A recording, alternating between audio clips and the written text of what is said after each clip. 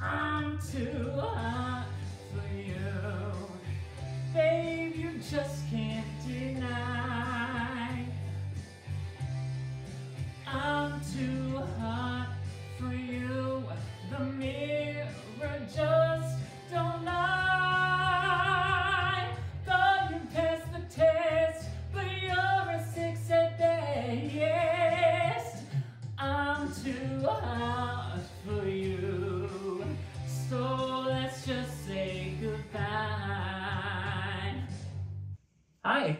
I'm Jake Oakland, and this is a monologue from Monty Python.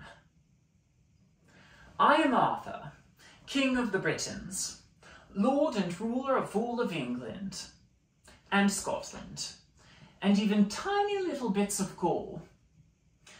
We have ridden the length and breadth of this land in search of knights to join me in my court at Camelot. I must speak with your lord and master. He's busy. Good sir, we have ridden since the snows of winter covered this land. Through the kingdom of Mercia, through... What? No, I don't have an appointment. No, I can't come back later. Will you tell your master that Arthur from the court of Camelot is here? Look, I am your king, and I order you... Yes, king. No, no one voted for me. As I rode forth from Camelot, I saw a lady in the lake.